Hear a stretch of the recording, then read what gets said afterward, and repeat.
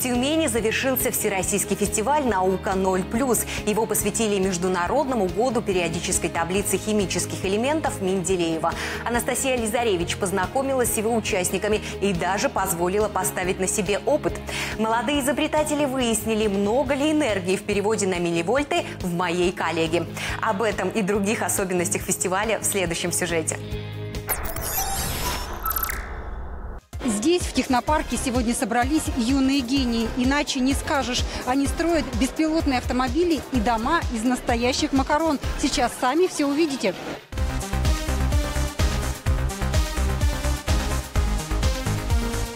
Ребята, ну вы решили всех удивить, да, на этой площадке? Да, мы решили сагитировать детей, э, построить какие-нибудь сооружения из башен, то есть из макарона и пластилина.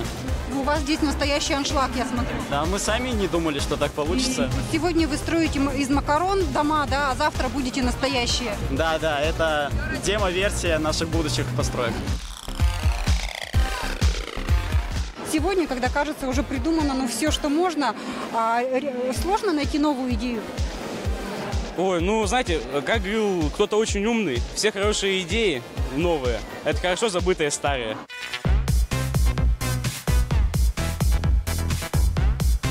Что придумали вы?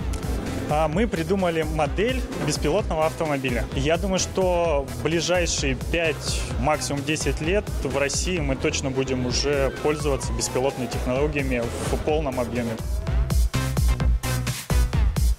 А за этим столом проводят какие-то необычные опыты. Давайте узнаем, какие. Что у вас здесь такое? Здравствуйте. Здесь мы показываем опыты на том, то, что из любого живого вещества можно получать энергию. Измерим сначала лимон. В лимоне 960 милливольт. Довольно-таки высокий показатель. В ябло- в яблоке напряжение больше 1 вольта. Неужели в человеке во мне меньше энергии, чем в яблоке? А давайте измерим.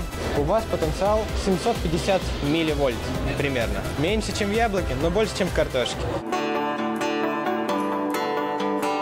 Сегодня здесь много таких умных, креативных ребят. Где вас всех находят? А, Значит, э, мы э, выступали в различных конференциях. Умных ребятишек а, как-то награждают, поощряют вообще во время учебы.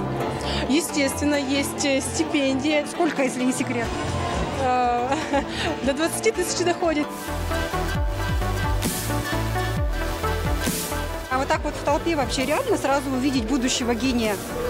Да, реально. Как вы их вычи- По глазам. Да, то есть горящий взгляд. сегодня уже замечали? Да, замечали.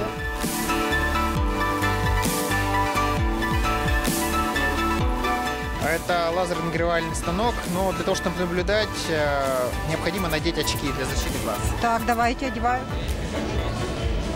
Так, теперь рассказывайте. Вы о чем мечтаете, как вот как студент, как ученый? Э, Я хочу, чтобы мир стал лучше. Итак, что мы сегодня выяснили? Давайте подведем итог. Гениев выдают горящие глаза, а в человеке тоже есть электричество. Проверено на себе. Современные дети с гаджетами на «ты». И если верить статистике, возраст пользователей молодеет. В пять лет большинство уже знакомы с интернетом. А к восьми годам в сетях школьники проводят уже большую часть своего свободного времени. Родители сами дарят гаджеты. У большинства 11-летних есть личное устройство для выхода в интернет. Чаще всего это смартфон. Эксперты считают, что бороться с этим явлением бесполезно. Но необходимо учить детей безопасному поведению в сети. Объяснять, что такое кибербуллинг или, проще говоря, травля и чем опасен офершеринг, то есть излишняя откровенность. Общественная палата России предлагает ввести в школьную программу спецкурс по информационной безопасности. Раньше с такой инициативой выступали депутаты Госдумы.